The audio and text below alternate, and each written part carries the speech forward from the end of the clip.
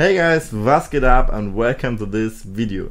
Today I'm gonna show you how you can create one of these cinematic matte effects with just one single adjustment layer. It's pretty easy, um, it's pretty fast, so yeah, let's get started.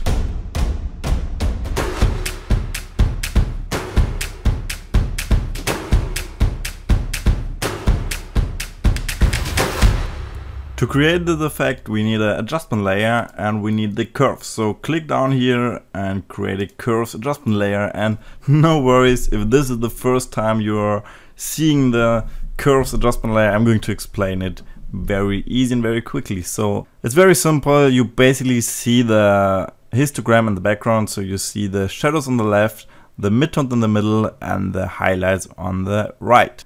And then there's this line here in the middle. And this line, as it looks like this, it means zero. So no adjustment, the picture looks exactly the same without the layer or with the layer. And now if you click on the line and drag it down, the whole image gets darker. And if you drag it up, the whole image gets brighter. Now the beautiful thing is that you can create more than one of these little adjustment points. So for example, we could create one here and one here. So for example, if you want to have more contrast, we could just click on this little adjustment dot and drag it a little bit down in the shadows and then brighten up the highlights and voila, you have a little bit more contrast. But we don't want to create contrast, we want to create this nice matte effect. So to do that, we can keep these points and just brighten up the very, very darks.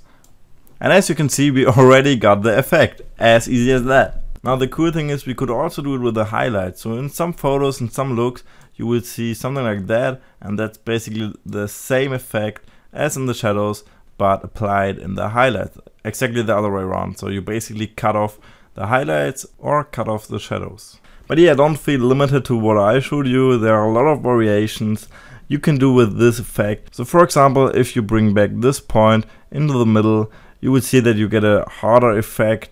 Or if you bring this point a bit in the negative, you create a little bit of a contrasty look. So yeah, feel free to do whatever you want, combine this with other techniques, and I'm sure you will create awesome pictures. Alright guys, that's already it. Thanks for watching and if you liked the video, maybe share with a friend. And yeah, I will see you in the next video then.